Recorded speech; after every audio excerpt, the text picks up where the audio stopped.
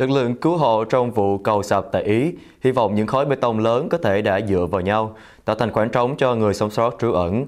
Hiện vẫn còn 20 người mất tích trong khi lính cứu hỏa chưa tiếp cận được toàn bộ các ô tô bị lẫn trong đống đổ nát. Chiến dịch cứu hộ phải ngừng vào sáng nay do một đám cháy bùng lên gần nơi sập cầu.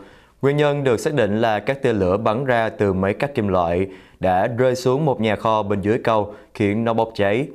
Một đoạn dài 200 mét của cầu cao tốc Morandi sập xuống vào hôm ngày 14 tháng 8, khiến ít nhất 39 người thiệt mạng và 15 người khác bị thương. Hàng trăm người dân Genoa sống trong các tòa nhà gần với cầu Morandi phải qua đêm tại những phòng gym và trung tâm tạm trú sau khi chính quyền cảnh báo nhà của họ có thể sập bất cứ lúc nào.